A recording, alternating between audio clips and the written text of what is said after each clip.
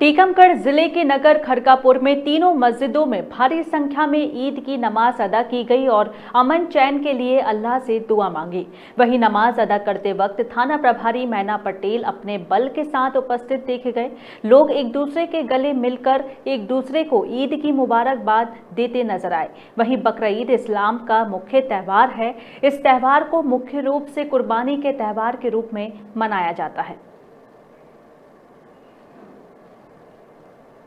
परवरदिगार आलम, हमारे मुल्क में अमन और शांति का माहौल पैदा फरमा। नज़र बद से नज़र हासिदीन से, दुश्मनों के शर से, दीगर ममालिक की जो हमारे मुल्क के, हमारे देश के दुश्मन हैं, उनसे इस ईद अज़हा के सदक़े में उनसे उन दुश्मनों से हमारे मुल्क की और हमारे मुल्क में रहने वालों की हिफाजत फरमा।